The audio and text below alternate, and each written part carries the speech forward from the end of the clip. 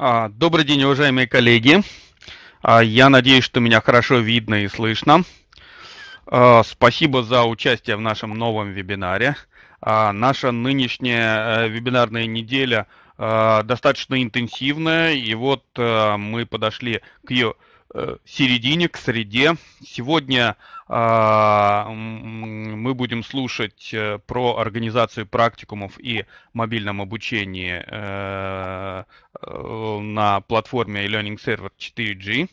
А, а перед началом вебинара я, как всегда, хотел бы представить вам две полезные ссылки, которые находятся в самом начале нашего чата.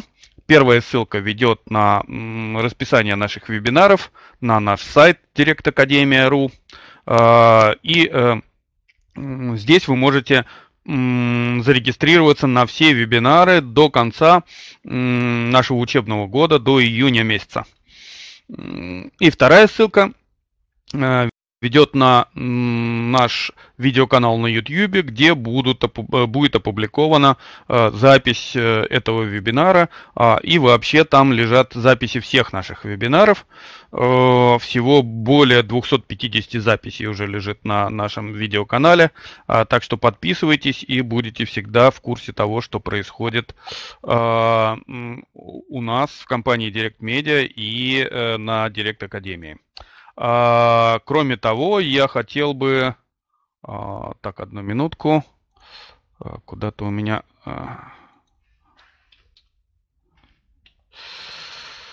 Прошу прощения, у меня пропали две записи, которые я хотел, хотел сделать. Но вот прямо сейчас я вам откопирую их. Это два наших следующих вебинара которые состоятся завтра и послезавтра. Давайте, может быть, немножко некрасиво это будет выглядеть в э, чате, но надеюсь, что э, все будет понятно. А, итак, завтра э, в 12 часов состоится вебинар э, Асии Бурнашевой. Э, это наша сотрудница, сотрудница компании Direct Media, и расскажет она о новом проекте нашей компании English Direct, а, посвященный э, изучению английского языка. А, и 16 в пятницу, э, тоже в 12 часов, э, Марина Орешко, наш, постоянный ведущий вебинаров, расскажет об литературной инфографике. Надеюсь, эти два вебинара будут интересны для вас, так, так что регистрируйтесь и будет а, будет вам интересно. А, ну что ж, да, ну еще хотел бы а, пару слов сказать о нашей будущей неделе. У нас будущая неделя будет очень интересная. Будет много приглашенных э, экспертов. Э, прямо в понедельник вы узнаете об игрофикации. У нас будет э, Иван Нефедев, один из эм, лучших специалистов в этой области в России. А, далее у нас будет 21 и 22 числа а, руководитель э, э, теплицы социальных технологий с совершенно замечательной командой, которая ведет большую образовательную деятельность в интернете. Ну и, наконец, 22 если не изменяет память, у нас будет э, Стас Козловский, один из руководителей если можно так выразиться, э, российской Википедии. Я вас призываю не пропустить эти вебинары. Будет, это будут очень интересные вебинары. Приходите, обязательно участвуйте. А, вот, ну, вот, собственно, и все. А, а теперь я хотел бы передать слово Дмитрию Кречману, сегодняшнему нашему спикеру, одному из руководителей компании Гиперметод, с тем, чтобы он провел сегодняшний вебинар. Дмитрий, прошу на связь.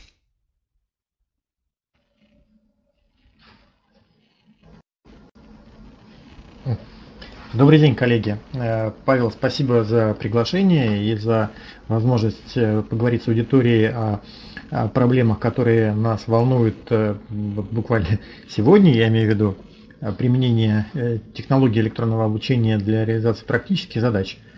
И надеюсь, коллеги, что тоже для вас эта тема будет, по крайней мере, отчасти интересной. Да, здравствуйте, Светлана Владимировна. Мой сегодняшний рассказ и показ, и демонстрации, какие-то, может быть, практические вещи рассчитаны на примерно час времени. Я надеюсь, вот этот час уложится. Ну и какие-то вопросы, ответы тоже вполне. А, и, коллеги, а, прошу обратить внимание, что вот есть замечательная вкладочка в Мирополисе, называется «Вопросы». Буду вам признателен, если вы будете кидать не в общий чат, который быстренько очень убегает, и потом его трудно разбирать, да, а вот непосредственно на вкладочку «Вопросы» рядом с общим чатом – Э, для того, чтобы мне было проще на них отвечать. Ну, вопросы можете задать там по ходу действия, э, как эм, возникнет какая-то пауза, когда мне трудно будет продолжать говорить дальше. Далее, то я буду стараться отвечать на вопросы. Итак, коллеги, еще раз спасибо за то, что вы э, посетили сегодняшнее мероприятие. Как я понимаю, вопросы, связанные с практической деятельностью и обучением практической деятельности для вас являются актуальными. Собственно говоря, о каких-то приемах, а, а, которые и вы, в принципе, можете использовать в своей деятельности в организации, при организации электронного обучения, я сегодня постараюсь эм, рассказать. Мой рассказ не носит системный характер, я покажу вам три примера о как, как это возможно в разных проектах, которые мы делали. Ну вот э, для того, чтобы немножечко хотя бы нам с вами тоже, да, мой не первый вебинар, да, вот в рамках Академии, но тем не менее э, немножечко познакомиться, я, если с вашего позволения, запущу маленький опросик, э, чтобы мне тоже понять, какую, какую, в какой степени вы знакомы с нашими решениями. А, ну, буквально там на 30 секунд, да, пока я разговариваю, буду вам признателен эм, ответить на эти вопросы. А, они очень простые. Да? Это, даже не, не, не 8 кандидатов, это, это 3 маленьких варианта ответа на один вопрос. угу.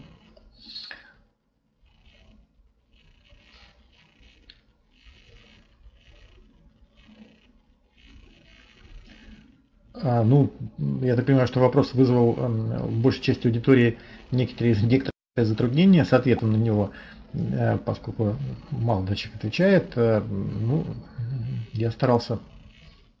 У меня еще будет два вопроса к вам по, по ходу дела. Но, тем не менее, давайте будем считать, что все, кто хотел, ответил на вопросы. И э, можем продолжать дальше. Спасибо, что ответили. Останавливаем. А,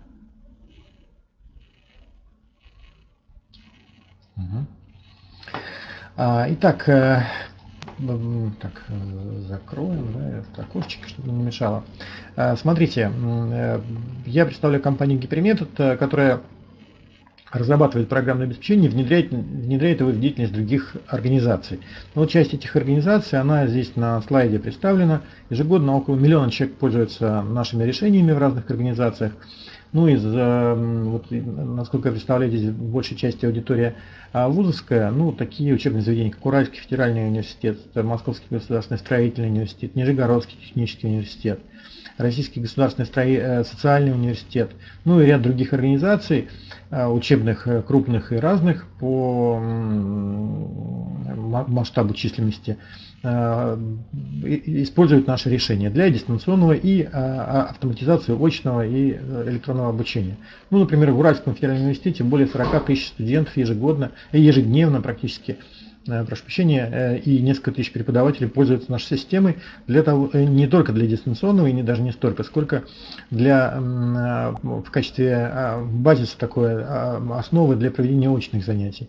Размещают там задания, проверку выполнения там, курсовых или контрольных работ, прохождение блоков тестирования как каких-то или ознакомление с учебными материалами в рамках учебных дисциплин. Ну, например, в Российском государственном социальном университете это тоже порядка чуть меньше 50 тысяч человек, которые действительно проходят исключительно дистанционное обучение. Ну и ряд других организаций, там, начиная от «Газпрома», фармацевтики, мы гордимся тем, что, вот, например, наши обученные с помощью наших систем эм, слушатели ныряют глубже всех, например, обучают на базе наших систем устроенной системы подготовки экипажа атомных подводных лодок. Это примерно несколько километров глубина погружения. Да, и летают выше всех, потому что экипажи э, и инженерно-технический состав э, таких самолетов, как МС-21, который да, в этом году запускается в конвейер э, Су-30, Як-130, также проходит подготовку вот на базе наших решений, связанных с электронным обучением и тренажерной подготовкой. Вот, э, ну, так немножечко, да, ну, там всякие врачи, которые вас лечат, летчики, которые вас перевозят, э, студенты, с которыми вы, возможно, сталкиваетесь, вот это все наши, э, наши пользователи. Вот примерно такой, такой охват аудитории того, того, что мы делаем. Ну, давайте ближе да, к делу, наверное, я постараюсь рассказать все-таки и о практикуме. Естественно, в рамках той платформы, о которой я говорю, а именно а, платформа называется Service 4G, и спасибо Павлу, он упомянул ее в моем представлении.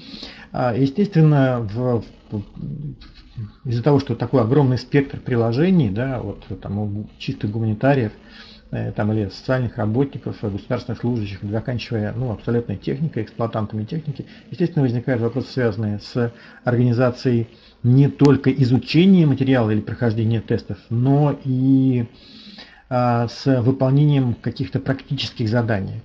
Если а, для части учебных дисциплин, ну, например, там, химия, да, мы привыкли, что существует, там, или физика, какие-то явления, мы привыкли, что существуют а, а, хотя бы электронные тренажеры,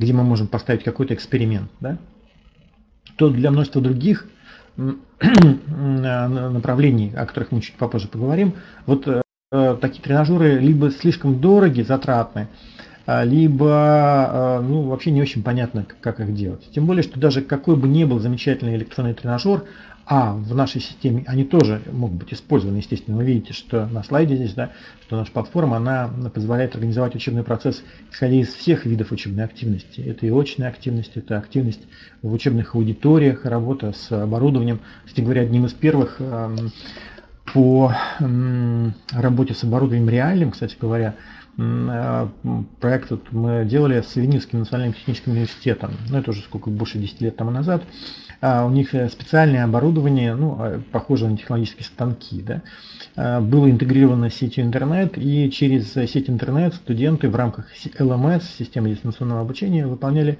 работы, система организовывала разделение во времени и разделение ресурсов да, этого там, устройства агрегата, с которым студенты работали дистанционно, удаленно. Но это частный случай, мы поговорим о немножечко более общих. Итак, вот наша платформа умеет все это делать. Естественно, там есть электронные курсы и прочее, о чем вы наверняка много знаете, но постараюсь акцентироваться на э, других вещах. И вот среди про набора инструментов, которые есть на платформе, ну, там, допустим, бальные рейтинговые системы, там, или ведение электронного портфолио, или там управление работой с проектами, есть э, несколько инструментов, которые э, за, не то чтобы заточены, но э, хорошо ложатся на часть задач, связанных с решением практических задач.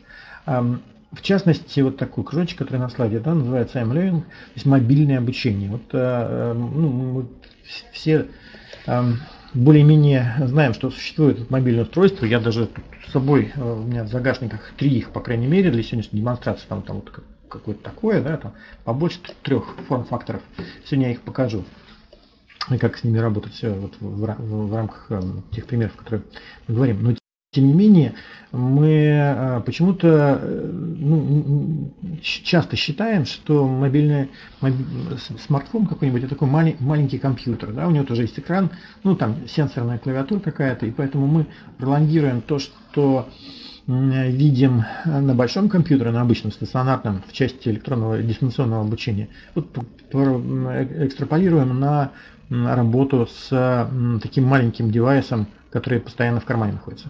Это не, не, не всегда ведет э, к хорошему решению. Вернее, мы выбрасываем просто часть возможностей и не, не задумываемся о части возможностей этих электронных девайсов, которые могли бы использовать в организации, в частности, практикумов. И вот э, давайте там, так немножечко пофантазируем. А, ну, общеизвестно, да, базис какой рассуждение, общеизвестно, что для электронного обучения наиболее трудной как раз составляющей является как раз практикумы. Почему? Потому что, ну, если я пришел в аудиторию, и в аудитории мне говорят, нарисуйте схему э, там, транзисторного соединения или э, изобразите э, там, скетч на лектора или на преподавателя, неважно что, но важно, что сделаете, то не совсем, если в компьютере не заложены алгоритмы и функции для того, чтобы это сделать, это сделать на самом деле достаточно тяжело. В реальной жизни гораздо проще. У нас всегда есть под рукой ручка, у нас всегда есть под рукой бумага, ну и какие-то другие вещи. Э, особенно это важно тогда, когда у нас, мы ограничены по времени. Ну, например, в рамках нашего сегодняшнего вебинара, представьте, я бы попросил вас выполнить лабораторную по химии, например, какую-то, да, по выращиванию кристаллов. Что бы вы делали? Да, и уверен, что на 99,9 в периоде э, коллег бы не смогли за там, час времени добежать до ближайшего магазина химических э, компонентов, да, там что-то купить, принести колбочки и так далее. И это э, есть еще дополнительные такие ограничения. Но, тем не менее, мы сегодня постараемся это сделать с вами. Вот. Итак, какие направления? Ну, я здесь накидал, вы можете этот список э, дополнять, э, так как э, вам из вашего опыта, возможно, да, что-то что присутствует. Ну, вот э, примеры, пример, вот, э, химия, физика, там, где эксперименты, да, мы все научились в рамках электронных учебных курсов а, либо а, снимать на видео эти эксперименты, либо и выкладывать затем записи, а, либо моделировать, э, там где есть мат-модели какие-то процессов, там, или логические модели, моделировать эти процессы э, и включать в э, вот эти цепочки выполнения этих работ модельных экспериментов, да, моделируемых экспериментов, нас с вами как участников этих экспериментов. Но тем не менее, вы сами понимаете, одно дело компьютерный тренажер, какой бы он ни был хорошим, а другое дело, когда я делаю это самостоятельно, да, я не, не просто понимаю, мне не демонстрируют какой-то результат, а я могу ошибиться, э, получить неправильный состав, э, ну, и со всеми вытекающими последствиями, там, включая тактильные, эргонолептические э, какие-то ощущения, которые в рамках этого эксперимента я выполняю. Помните, да, даже вот в, у тут чашечка тоже, вот, э, кто учился в школе, если такие да, если вы помните, то на уроках химии, по-моему, там в шестом, седьмом классе нас в первую очередь учили, что нюхать, нюхать, потому что э, при выполнении лабораторных работ по химии мы должны правильно это уметь делать. Вот мы не просто так должны делать, да, мы вот, вот, вот таким вот образом, если, если помните школьную программу. Вот э, это те нюансы, а ну как в, даже в компьютерном э, симуляторе, в лабораторных, да, как, как это устроить.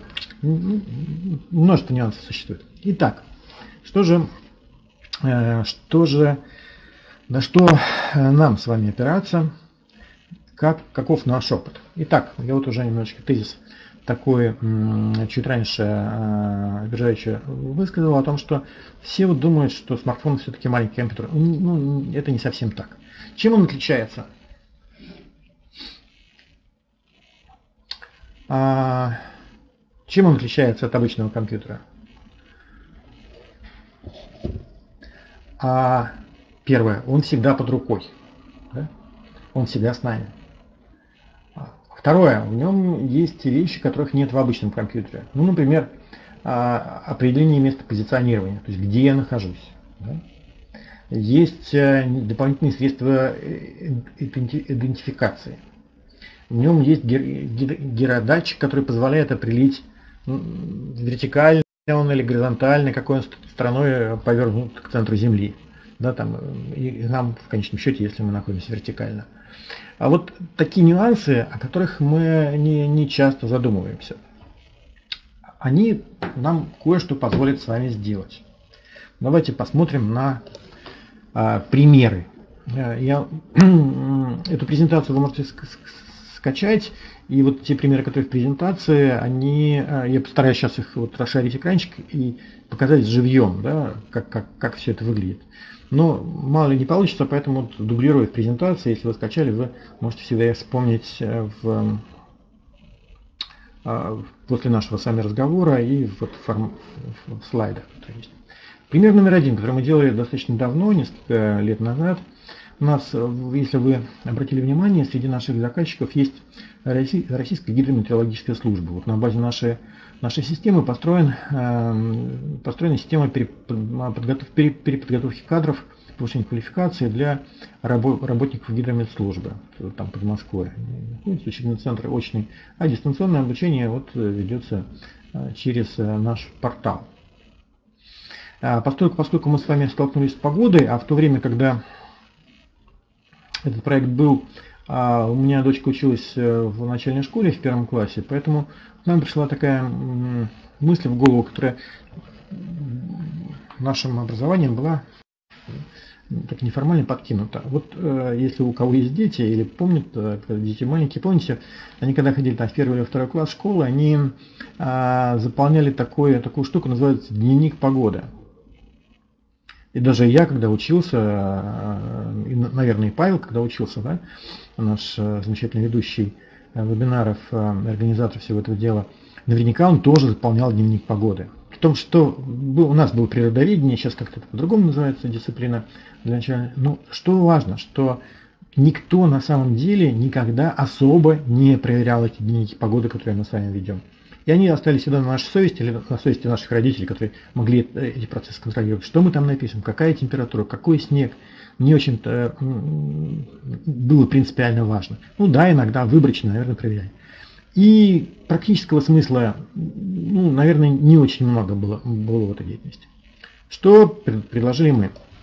Мы взяли и сказали, что, ребята, давайте Подумаем, вот, кстати говоря, один из будущих вебинаров про геймификацию, да, если я правильно услышал.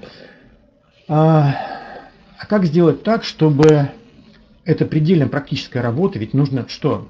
Она элементарная, я поэтому с такого простого примера начинаю. Она элементарная, нужно выглянуть в окошечко, посмотреть на термометр, который находится за бортом или или в, ну, в смысле за окном, да, который показывает внешнюю температуру. Посмотреть, идет там снег или дождик или что-то еще. Вот фотография капели питерской, кстати, я в Петербурге, да, нахожусь, у нас сейчас примерно такая погода, как э, на смартфоне слева на слайде. А, это предельно практическая работа, пусть милипусенькая, но вот, вот такая. Что же мы э, сделали? Мы взяли ну, это можно на телефоне, можно на планшете. Вот э, у меня планшет, например, да, под андроидом, вот он, видно тут, наверное. На нем э, установили такое замечательное маленькое при, приложение, называется «Дневник погоды». Вот он. Тут я пытаюсь как-то в камере да, показать.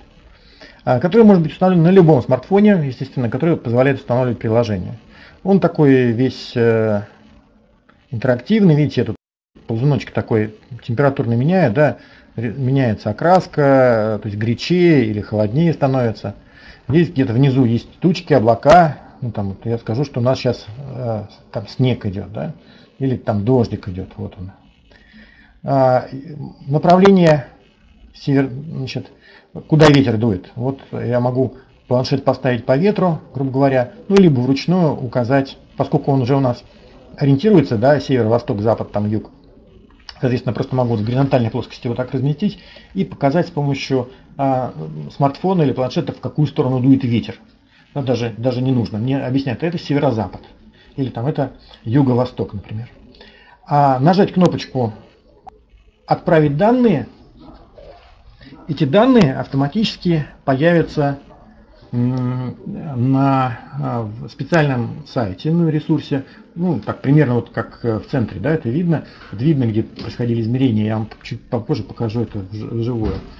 А, появятся э, засечки на э, Google, на, используется сервис Google Maps а, с точными данными, которые были отправлены. Что это нам дает? Ну, как бы функционально это примерно то же самое, что если бы я писал будущий ребеночек на бумажке. Ну, что нам это дает? А, дает очень много на самом деле. Вот это маленькая практическая работа. Первое. Мы можем сравнивать э, результаты разных учащихся. Что значит сравнивать?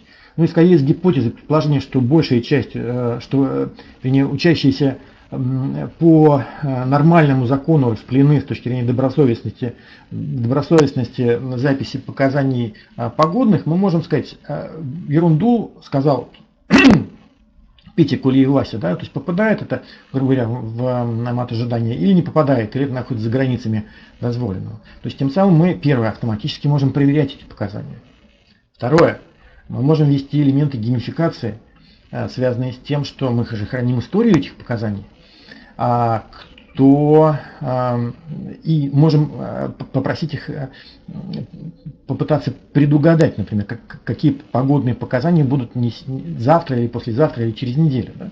Тем самым э, ввести элементы конкурен, конкуренции некоторые, конкурентные составляющие, и объявить конкурс, например, лучший прогнозист Росгидромета среди школьников э, второго класса. Да? Вот, э, ну и дальше эту тему можно развивать, там фантазировать э, э, на, на эту тему, кто там чаще там или более, более, более того, э, из, этого, из, из этой маленькой детской модели можно формировать прогнозы, связанные с тем, что если это происходит массово во всех школах, например, Петербурга, их около тысячи только в самом а, ну, в городе и области, да, соответственно, в каждом классе там порядка 30 человек, допустим, в начальной школе, классов этих, ну, допустим, 3, да, то есть на а, одну школу это порядка сотни человек, и, ну, представляете, какие большие данные мы с точки зрения измерений получаем, с какими мы можем работать. А, вот такое количество погодных датчиков и с учетом поправки на ветер, э, скорость ветра, например, да, и какие-то другие обстоятельства, э, можем даже выстроить механизмы прогнозирования погоды через 20 минут или через 30 минут, а не так, как у нас Росгидромет э, там плюс-минус лапать, э, и то там, на следующий день. Вот э, такие, так, такая маленькая практическая задачка может выливаться в такие грандиозные, фактически, по крайней мере, для э, нашего Петербургского региона и Ленинградской области, обстоять, э, выводы, да, которые можно сделать и пр практические результаты получить из такого, такой маленькой, казалось бы, милипусенькой идейки, связанные с э, э, частью, маленькой частью, всего лишь с одной маленькой дисциплиной, вернее даже не дисциплиной, да, а кусочком, связанным с дневником погоды. Вот такой первый, первый пример, про который я хотел поговорить. Потом я переключусь на экран, покажу вам отдельную карту, чтобы вы были уверены, что я вас не очень сильно обманываю.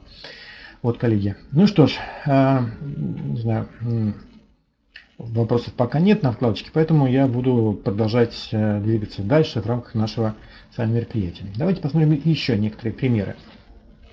Значит, а, тут я взял просто за основу э, наиболее такую практическую, что ли, нашу, а, практического нашего заказчика. Наша система является центральной для, эм, ну, практически для а, система подготовки кадров для Русской Православной Церкви. Значит, в разных организациях. Вот в этом году начался в прошлом году пилотный эксперимент, в этом году до лета продолжается как бы учебный период 17-18 а, года. А, и, как вы сами понимаете, помимо теории, там очень много практических вещей. Ну, начиная там, от, от пения церковного, например, да, которое дистанционно это вообще как, как-то очень совсем плохо. И заканчивая какими-то совсем практическими вещами, связанными с ведением там, службы, например, да, или э, какими-то другими обстоятельствами. Ну, эм, можно и много других, да, пример приложить, но вот так как-то подвернулся этот пример э, в большей степени. Что, э, что мы можем сделать в большей степени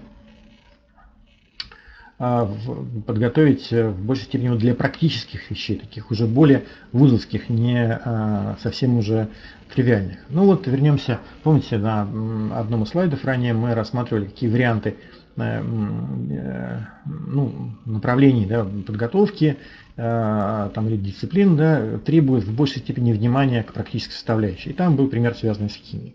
Вот я сейчас вам тоже попытаюсь показать в реальности этот пример. Давайте представим себе э, такую ситуацию, когда необходимо выполнить лабораторную по химии. Ну, например, там, смешать два каких-то для выращивания кристаллов, да, по-моему, это лабораторная работа, если не ошибаюсь. Это примерчик, который я буду показывать. Понятное дело, что мне могут это хорошо объяснить на картинках. А даже, может быть, и картинок не нужно, достаточно там, в формате комиксов что-то сделать. Но научит ли меня реально, а, а, реальному пониманию того, что такое кристаллы, как они выращиваются, рисунки, будь они анимированы, даже будь они смоделированы. Пока я своими глазами не увижу, пока я сам не, как э, слушатель не попробую руками там, или, или там, не попробую на язык, да на вкус, ну, в кавычках, конечно. Вот э, для меня, для большинства э, слушателей, наверное, все-таки эм, смысл этой практической деятельности не будет доходить. И вот для того, чтобы... А, а если формат обучения дистанционный, что же делать? Вот, э, ну, делать что? Дома делать лабораторную работу. Дома делает э, студент там, или школьник лабораторную работу. А как проверить лабораторную работу? Как, как вы это обеспечите, проверку? Ну, всем понятно, что а, отчасти это будет, или в значительной части а, отчетов это будет определенная фикция. Вот для того, чтобы этого не было, мы можем с вами эту лабораторную работу, я постараюсь показать, как ее делать. Ну, с помощью другого устройства, немножечко, где другое приложение установлено. Оно а, в данном случае тоже под андроидом. Такой, это на самом деле смартфон, только он большой, да, такой чуть, ну, что средний между планшетом и телефоном. Он так так может сказать. И вот здесь э, на этом э, смартфоне установлено приложение, которое обеспечит доступ непосредственно уже к нашей LMS-системе. А, тут какие-то учебные курсы, которых э, перечень учебных курсов, которые, на которые я подписан при прохождении обучения. Среди них есть курс, связанный вот с этой лабораторной работой по химии. Если я не промахнусь, с обратной стороны, вот, вот он. Да, вроде не промахнулся. А сейчас загружается э, этот учебный курс. Я покажу, вот, когда с смартфоном закончу, это все через расширение экрана будет понагляднее. Ага, отражается там как в зеркале.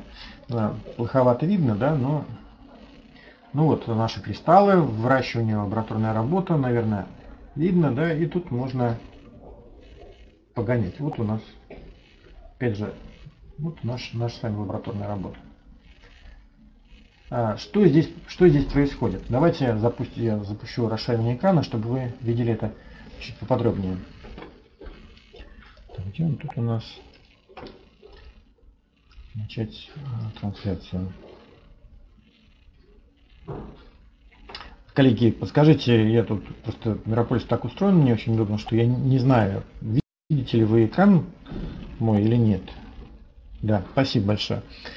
А, итак, а, значит, сейчас я, да, спасибо. Ну, если кто-то не видит, значит, сейчас загрузится, да, по, по крайней мере, от меня сигнал исходит э, от своего компьютера. Итак, сейчас на экране вы должны видеть э, собственно говоря, личный кабинет нашей платформы Linux 4G. А, и в, ну, тут всякие там расписания, там вот э, служ, студенты, с кем я там учусь вместе, да, вот они тут какие-то, я там с ними пообщаться могу. Мои учебные планы, а, тут вот что-то я выполнил, что-то нет. И в частности, есть перечень учебных курсов, которые я вам только что показывал на смартфоне. Да, это к одной учетной записи все где подключено. Вот они тут какие-то. В том числе вот это исследование физических и химических явлений, лабораторная работа по, по химии. Вот она же тут же, да, сейчас, сейчас у вас перед глазами находится, должны находиться. А, выглядит они здесь немножечко по-другому, потому что э, смартфон он как бы маленький, ну вот видно, да, вот она, она же, да. Смартфон маленький, все-таки экранчик имеет, поэтому здесь принцип эргономики отличается от большого экрана монитора. Поэтому вот слева оглавление на смартфоне я не вижу, но вот с помощью специальной кнопочки э, можно его там дополнительно э, вывести. Вот оно же, да, или убрать, если оно мне мешает. Как устроена, давай сейчас э, обратим внимание на трансляцию экрана в большей степени. Как устроена эта лабораторная работа? Ну, в принципе, та же, наверное, как все остальные. Есть часть теоретическая, есть введение, связанное с видеороликом, который показывает э, показывает процесс там, выполнения этой работы, что какие ингредиенты там нужны, какие не очень. В данном случае это ролик с YouTube. Вот тут размешиваются какие-то компоненты. Надеюсь, видно, да, и э, там, там в конце мы увидим там какие-то кристаллы. А, что кроме этого? В нашу, это как бы общая, да, постановочная часть. Это мы могли сделать и любым другим способом, то есть, ну, как, как сейчас. Для этого мобильный телефон не нужен. Дальше есть эм, часть, связанная с выполнением шагами задания. Задание, шаг номер один, значит, там что-то растворяем, да, там медный купорос в стаканчике. А, значит, далее, раз мы выполняем, мы как слушатели выполняем лабораторную работу, мы должны, по идее, выполнить этот шаг. И этот результат зафиксировать того, как мы смешиваем. Да? То есть это схема выполнения шага, а здесь мы должны, по идее, положить бы чтобы мог преподаватель проверить, да, или то, что попадает в отчет, например, да, если мы пишем этот отчет от руки в обычном режиме. То есть э, мы сюда должны были бы положить фотографию, как мы это делали. А, дальше проверка, а, ну, усвоение, то есть ну, мы механически выполнили это действие, или мы смысл понимаем выполнение этого действия. Ну, в данном случае там в результате смешивания происходит образование какой-то смеси, и нас спрашивают, мы понимаем, что это за смесь, что это там физический процесс, или это микробиологический процесс какой-то, там бактерии изобродили, дрожжи, когда вы тесто делаете, или все-таки химический процесс. Там. Ну вот ответили, да. А, значит, нет, все-таки это был физический процесс, да, смешивания, собственно говоря. Ну и так далее. Вот по шагам мы там выполняем эту лабораторную работу, должны в конечном счете получить, отвечаем на какие-то такие вопросы контрольные, а, которые иллюстрируют наше понимание Э, шагов этой деятельности и так далее. Значит, а чем отличается выполнение работы при э, использовании э, смартфона дома а, а, от обычного? Тем, что в обычные вот мы этим ограничиваемся, а вот если мы работаем с вами, дорогие слушатели, с таким мобильным устройством, как смартфон, мы можем сделать нечто большее. Мы можем взять реально ну, у меня вот похожего стакана не нашлось, я взял из нашего буфета бокал, который используется чаще, чем стаканы, наверное. И вот ну, произведу некоторые смешения на ваших глазах. Не пролить бы на клавиатуру. Ну, вот видите, да, я тут наливаю. Не бойтесь, это чай, это ничего другое. Специально вот заварил перед нашим с вами вебинаром чай. Вот, допустим, мы смешали, да. Что мы делаем дальше? Мы берем с вами наш с вами э, смартфон где у нас соответствующий шаг эксперимента. Вот он, да, у нас показан здесь. В этом шаге есть такая плашечка, видите, вот она. Зафиксируйте здесь свой результат. Соответственно, а, нажимая на там соответствующую кнопочку, я могу включить режим в этом месте именно, режим фотоаппарата. Сейчас включится. Вот он а, там загружается, да? Нет, можете вторичный видеть. Да? И с помощью этого фотоаппарата произвести съемку моего бокала, ну или стаканчика. Вот он, а, сейчас появится на экранчике. Вот он, да, я сфотографировал только что. Ну там кадрировать, если есть необходимость какая-то. И отправить прямо в нашу лабораторную работу. Вот он, отправился. Вот в реальном времени он перед вами прямо появился. Это, это фото. Видите, да? Теперь, если мы э, посмотрим с вами на наш э, учебный курс,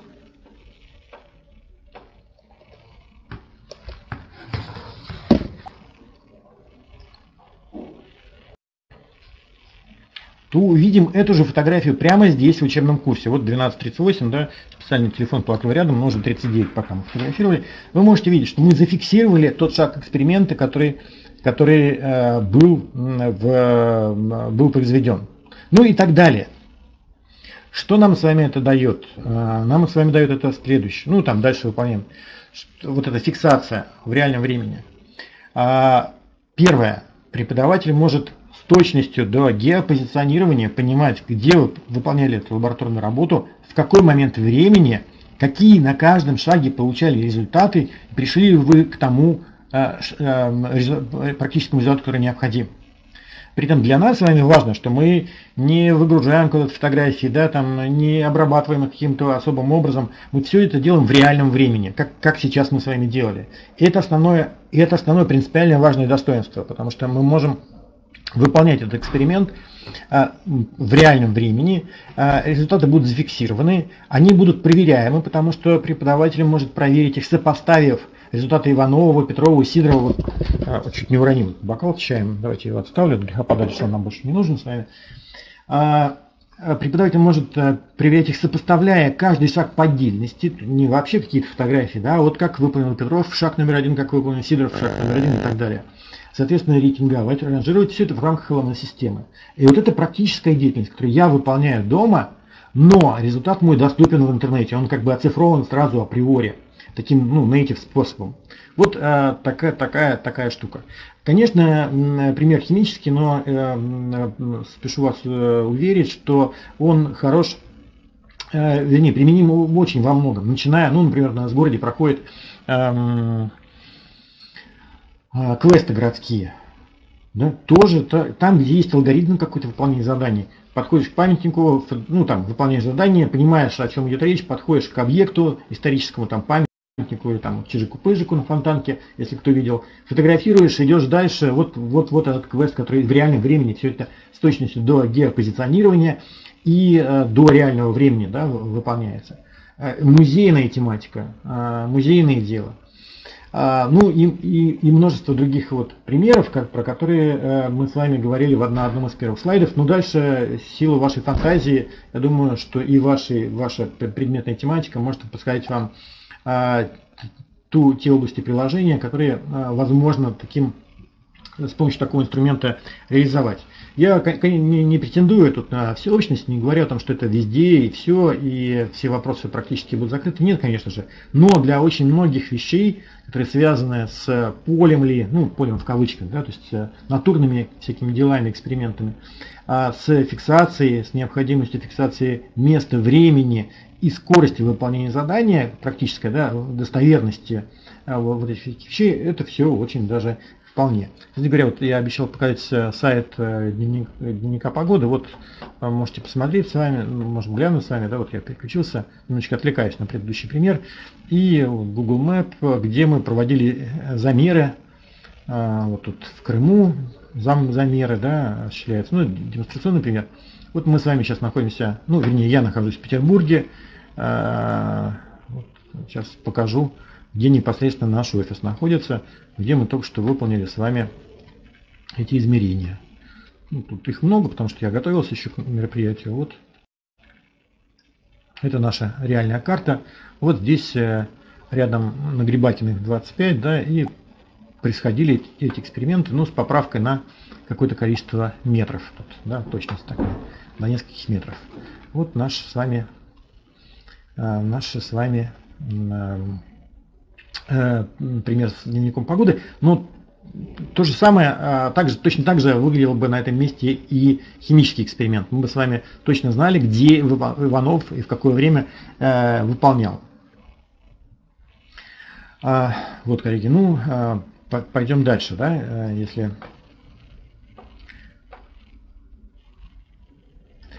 пойдем дальше в наших э, с вами э, примерах. Так, у нас тут еще один вопросик был.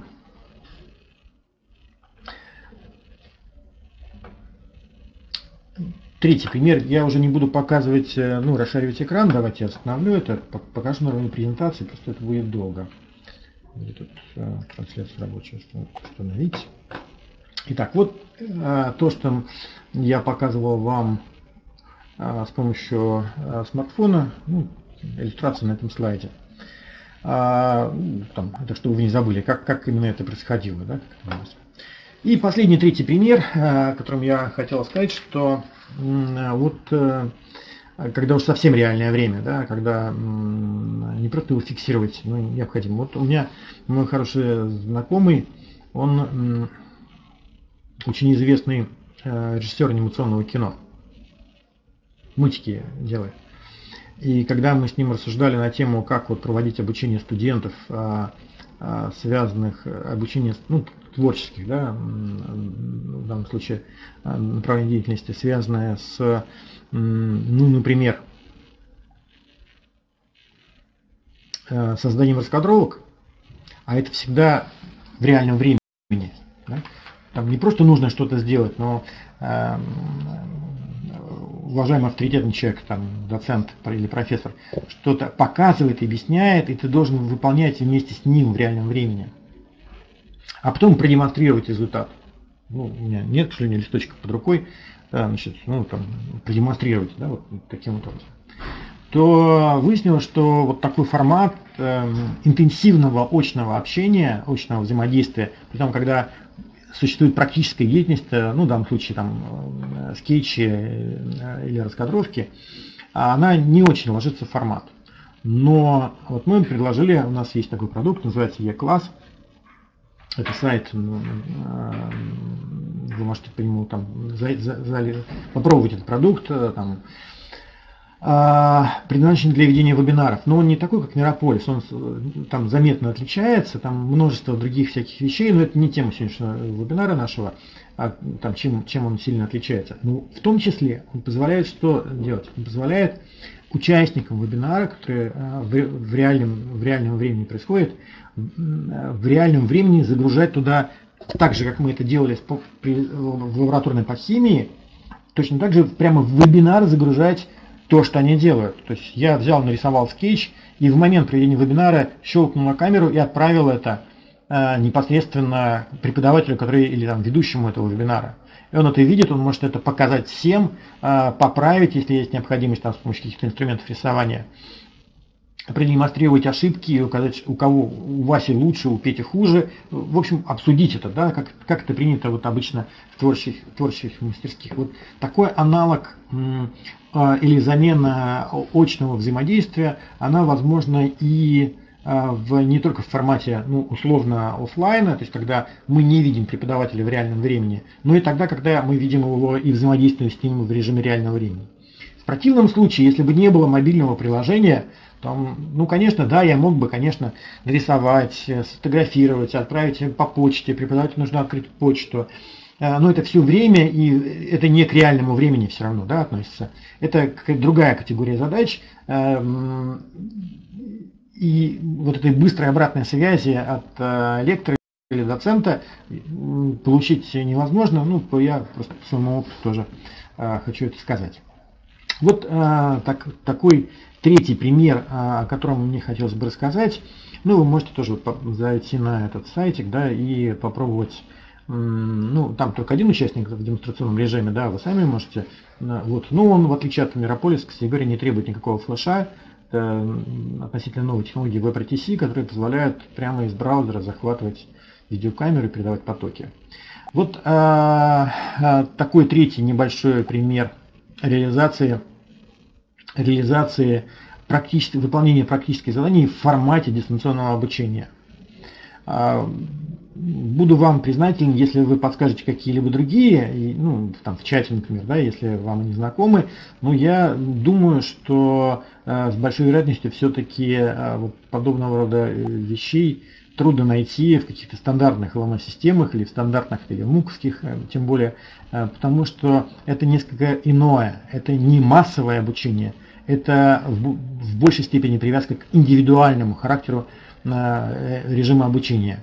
Когда вам не просто нужно дать информацию огромному количеству людей и ну, каким-то образом проконтролировать, прочитали они или нет, издали они тесты или нет, ну и в лучшем случае выполнили они контрольные работы или нет – а, но когда вы хотите так с большой точностью э, и вести человека по а, образовательной траектории, ну, или хотя бы в рамках одной дисциплины, но тем не менее, эм, понимая, что никакой учебный результат не может быть получен, если в, этом, э, в достижении этого учебного результата нет практической деятельности когда это, это не закрепляется тактильными э, моторными навыками, ну и там большей педагогикой, которая за этим, конечно, состоит, э, которая мало что знает, но тем не менее это очень важно, чтобы человек умел делать это своими руками.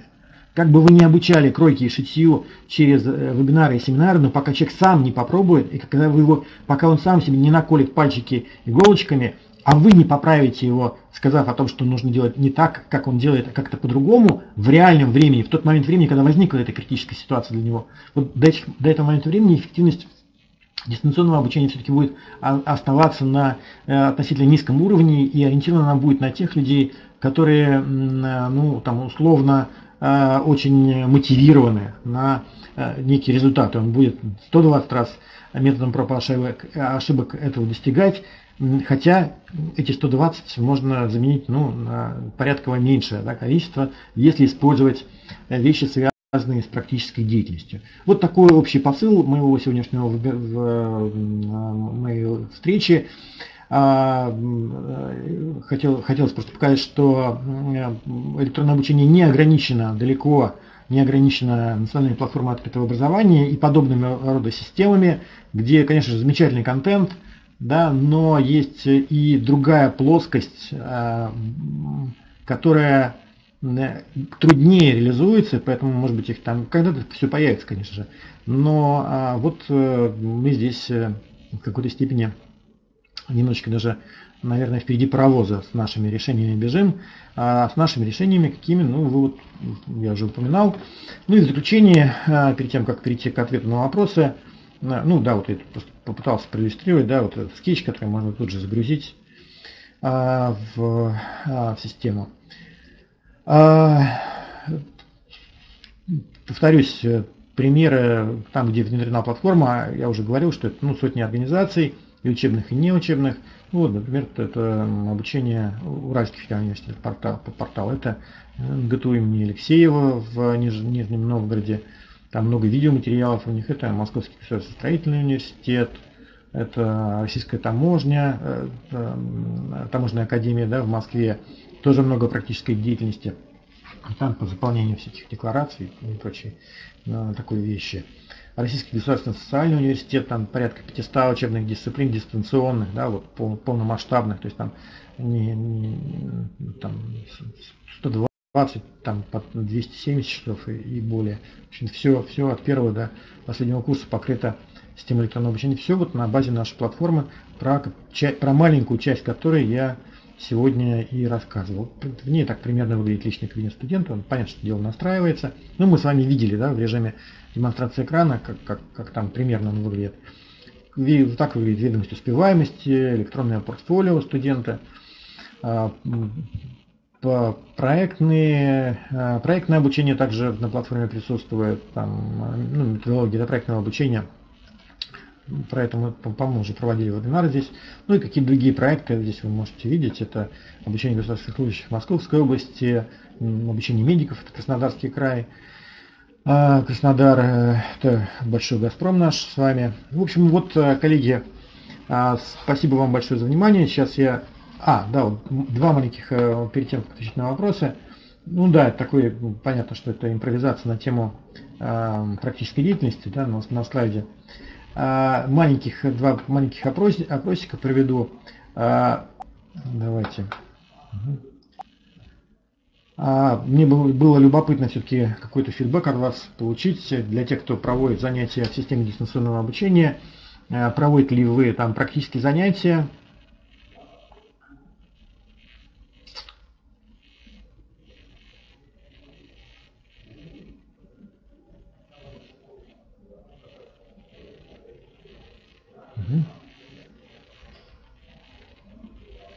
Ну вот, э, да, рад, что столько людей практическую деятельность понимают необходимость ее в дистанционном обучении. Очень вам признательна за вашу точку зрения и позицию. Да, спасибо. И хотел бы посередине провести, но, честно говоря, заговорился и а, да. И последний маленький такой же ну, так остановить и следующий, да? А,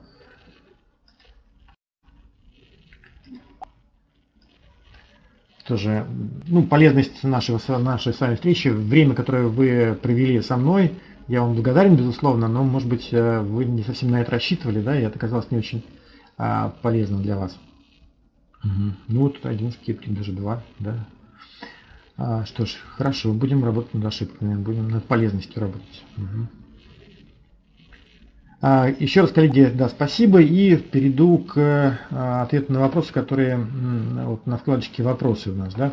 Марина Викторовна спрашивает, чем отличается эта обучающая платформа от э, Mobile Study? Ну, видимо, имеется в виду, я не знаю, честно говоря, что такое Mobile Study. очень сильно отличается от всех остальных, наверняка и от Mobile Study. Платформа отличается тем, что она ориентирована на российскую действительность, на образовательный процесс. У нас есть понятие информационно-образовательной среды, и вот, собственно говоря, а, основные компоненты информационной образовательной среды а, с ее а, логикой нашей отечественной, включая бальную рейтинговую систему, электронное портфолио, ведомости успеваемости, отчетные документы всякие, связанные с документооборотом учебным, аналитику учебную различного рода, включая компоненты, естественно, дистанционного или электронного обучения, и не только, потому что, например, учебное планирование, рабочие учебные планы, базовые учебные планы, учебные периоды, а, расписание, диспетчерская, нагрузка преподавателей, полставки,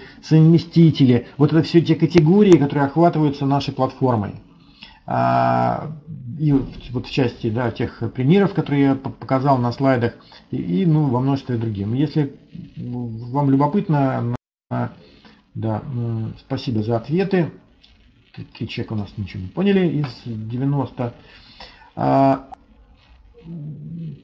видимо, придется повторить вебинар. А, и вот если Павел нас слушает, да, и, или вот, коллеги, кто нажал кнопочку «Нет», не полезно, я, да, здесь на, на, на экране есть мой электронный адрес, можете мне написать. Я буду рад, если вы вот за ваш негативный отзыв ну, как-то расшифруете, да, как, как это не, как бы это не было для меня больно. А, спасибо, коллеги, за вопросы, которые вы задавали. Закрываем, да, наш опрос. А, и да, за ваше время, которое вы потратили. Ну вот, собственно говоря, ровно час мы с вами практически про, э, проговорили и я показывал. Если у кого-то, можете скачать презентацию и ее разобрать отдельно. Э, если у кого-то будут э, вопросы, мой адрес электронной почты и мой сотовый телефон на слайдах сейчас, вы можете, не стесняясь, мне написать письмо или позвонить даже. Ну и посетить наш сайт заодно и узнать там много нового и другого про наше решение, которое мы делаем. Благодарю вас, коллеги. Павел тоже очень признателен. Надеюсь, что через месяц примерно да, у нас будет новая встреча. Дай бог ничего не случится. И мы как-то с большей радостью, не с такой строгостью, расскажем что-нибудь тоже новое. Спасибо. Угу. Коллеги, всем спасибо. Спасибо как всегда, полезный и интересный э, вебинар. Напоминаю, что э, с компанией Гиперметод мы встречаемся э, периодически. Вот э, начиная с Нового года каждый месяц э, Дмитрий ведет вебинар, и до июня месяца мы проведем всего 6 вебинаров э, э, за этот участок э, года. Э, за эти 6 месяцев. А, так что еще будет интересная информация от Дмитрия. А, находите в расписании вебинары от гиперметода и регистрируйтесь на эти вебинары. А, всем спасибо за активную работу. Отдельное спасибо Дмитрию за интересную тему.